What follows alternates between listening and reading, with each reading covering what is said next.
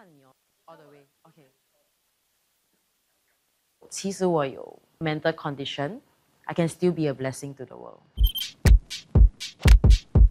我是安可梅，是 One Wish SG 的创办人。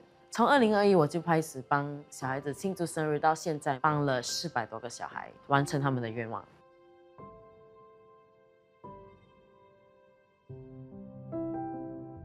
当我还是个幼儿园老师的时候，有一个小男孩在我们庆祝他朋友的生日的时候，他就来到我身旁，拉着我的手，问我几时我才能庆祝生日。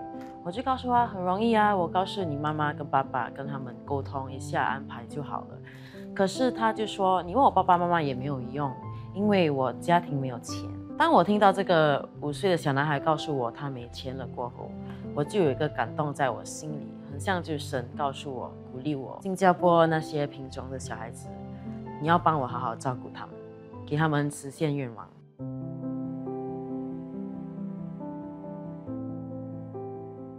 其实我在小学的时候有被霸凌，当时我找不到人诉苦。长大了过后，我有那些忧郁的症状，所以我失去了很多朋友。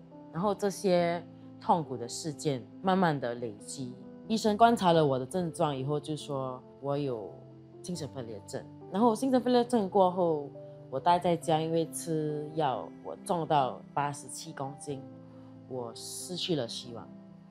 我觉得人生没有意义了，我也找不到出路。有一天，我就去了医院，我就看到了很多别的病人，他们其实生活的比我更糟糕。然后那天，我就告诉自己。我一定要走出这个黑暗的路。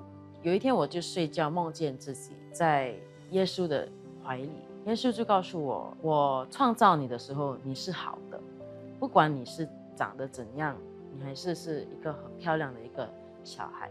然后他把我交给了我妈妈的手上，然后妈妈就交给另外一个人的手上。大家都说你，你是一个很漂亮的一个小孩。所以那天起变得更开心。不久后，我就有一个感动，翻回六年前我写的日记，回想到当时是幼儿园老师的时候，我有帮助一个贫穷的小男孩庆生。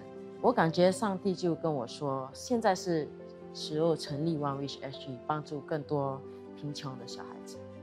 我觉得帮小孩子庆祝生日是一个很重要的东西，因为在他们成长过程，庆祝生日对他们有一个很深的 impact。最难忘的事情就是我买了一个蛋糕给一个家庭，然后我我们在唱生日歌的时候，那个小男孩就告诉我说：“谢谢你帮我庆祝生日，因为我没有庆祝生日过。”啊，我觉得我真的很感动。